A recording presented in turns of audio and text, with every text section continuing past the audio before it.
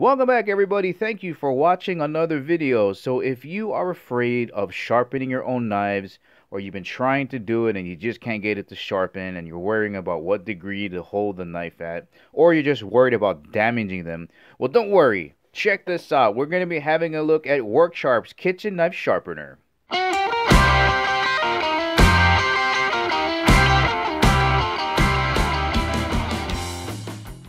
And as always, guys, if at the ending of the video you want to purchase this knife sharpener and help support the channel, make sure you check out the link in the description below because we do get a small commission when you purchase this knife sharpener.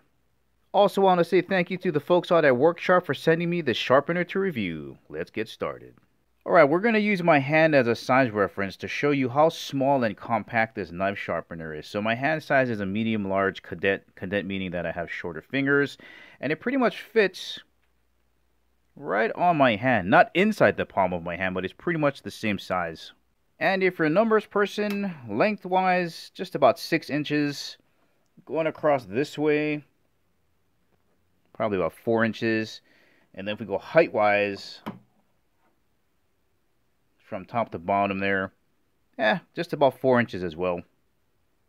Alright, let's get the E2 knife sharpener on the scale, coming in at right around 1 pound 3.5 ounces. That is light. And just to give you a weight reference so you get a better feel for how heavy it is, a full bottle water would weigh right around 1 pound 2 ounces. Now, of course, there's a lot of great ways of sharpening your knife and putting a razor sharp edge on them.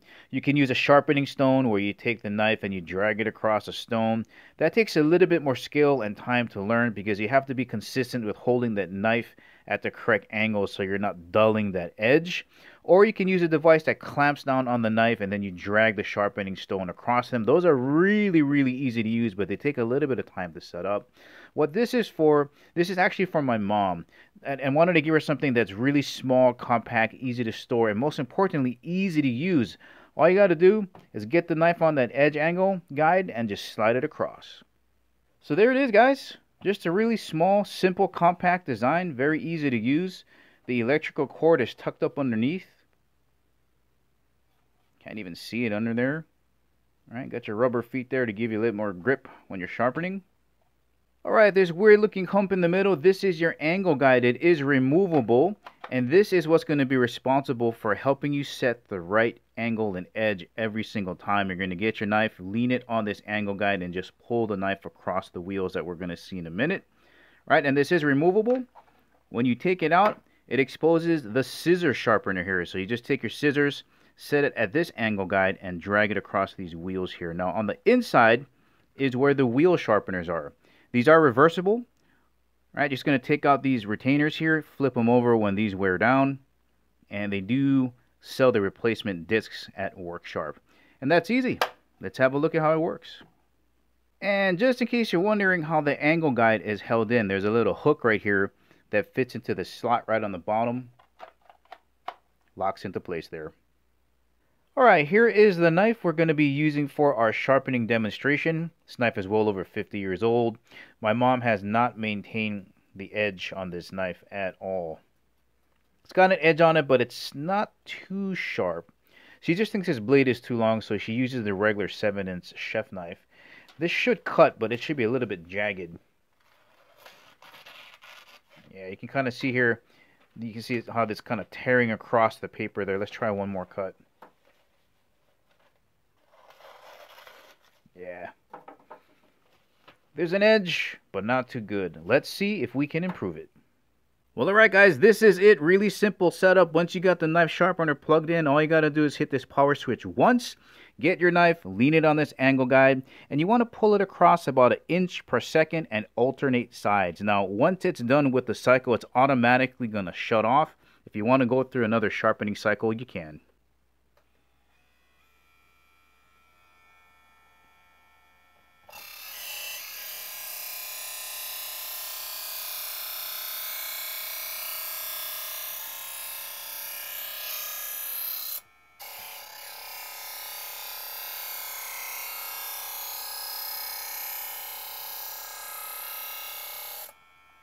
Now remember guys, once you're done with your sharpening cycle, you still have to hone your blade to knock off all those extra burrs. So you're going to take your knife blade in here,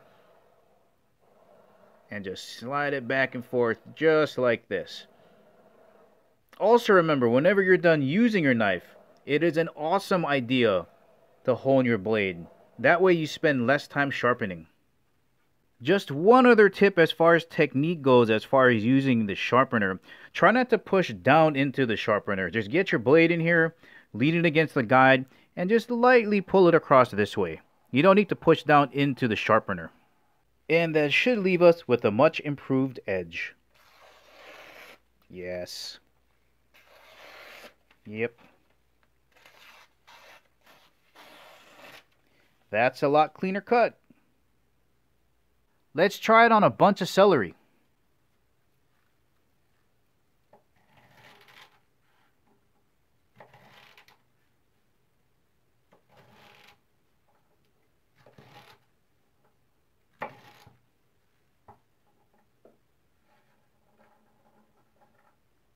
Let's try it with a cucumber.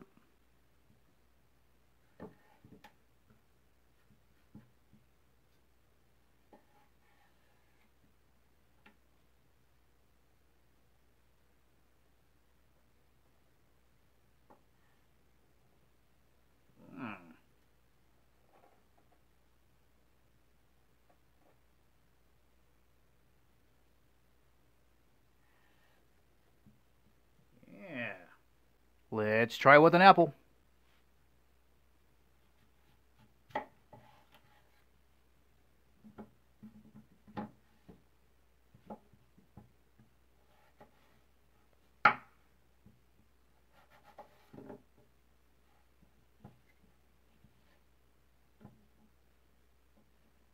Alright, let's have a look at the scissors sharpener. We're just going to push on the back of the angle guide for your knife sharpener and it will expose the angle guide for your scissors. So the flats are going to sit right here. And what I would do is with your other hand, support it just like this, get the angle set, and just drag it across this way. Just twice on each side will do. You flip it around and then do the other side.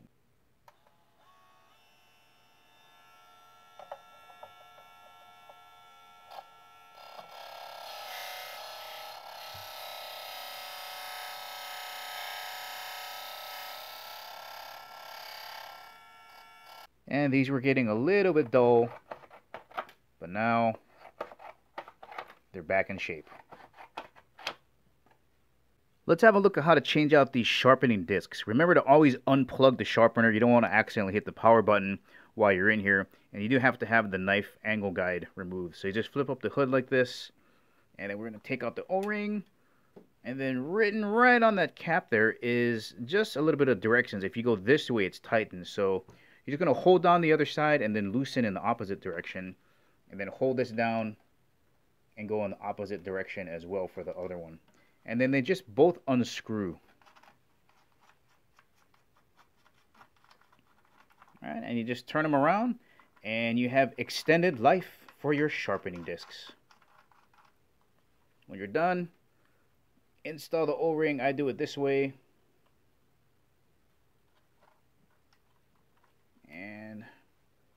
Just go back on that way.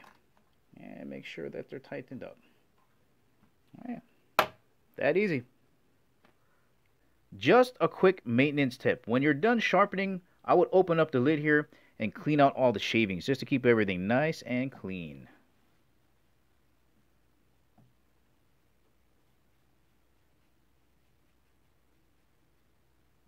Yeah, see all that?